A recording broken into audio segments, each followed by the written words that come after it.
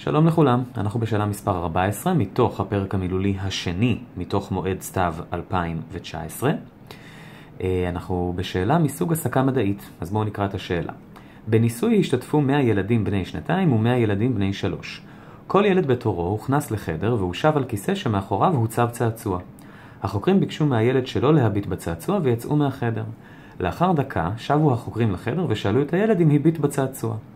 החוקרים ישבו בין תשובות הילדים ובין תיעוד מצולם של פעולותיהם, והסיקו כי ילדים בני שלוש נוטים לציית לסמכות יותר מילדים בני שנתיים, וגם נוטים לשקר יותר מהם. שואלים אותי איזה מן הממצאים שלהלן הוא המתאים ביותר להיות ממצא של הניסוי. אז בואו נסתכל. תשובה מספר אחת אומרת לי ככה: בקרב 80 בני השנתיים שהביטו בצעצוע, 40 טענו שלא עשו זאת, ובקרב 60 בני השלוש שהביטו בצעצוע, 50 טענו שלא עשו זאת. אז בעצם יש לנו פה מבחינת אה, הכמות ילדים שהביטו ממש בצעצוע, בקרב בני השנתיים יש לנו 80 מתוך 100, ובקרב בני השלוש יש לנו 60 מתוך 100.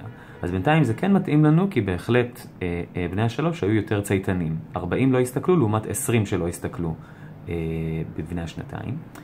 ו-40 מתוך ה-80 בני השנתיים שהביטו בצעצוע טענו שלא עשו זאת. ובקרב בני השלוש, בקרב 60 בני השלוש שכן הביטו בצעצוע, 50 טענו שלא עשו זאת. גם זה מתאים. בעצם יש לנו מבחינת אחוזים, 50 מתוך 60 לעומת 40 מתוך 80, האחוז הזה שטענו שלא עשו זאת, הוא הגבוה יותר. לכן התשובה הזאת היא כנראה התשובה הנכונה. בואו נסתכל על שאר התשובות כדי לוודא. בתשובה 2 אומרים לי ככה, בקרב 70 בני השנתיים שהביטו בצעצוע, 50 טענו שלא עשו זאת, ובקרב 60 בני השלוש שהביטו בצעצוע, 10 טענו שלא עשו זאת.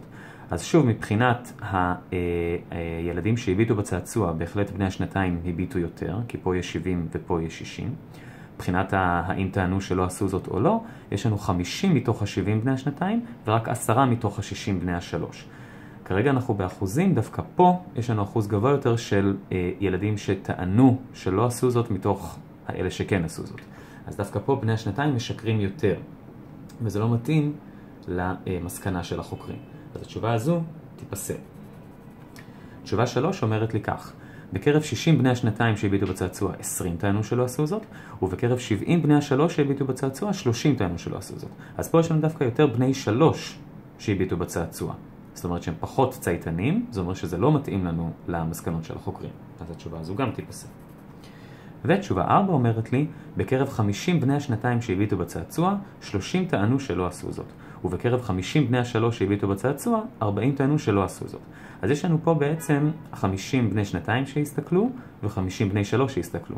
אז גם פה, לא, זה בעצם לא אומר לנו שבני השלוש הם יותר צייתנים.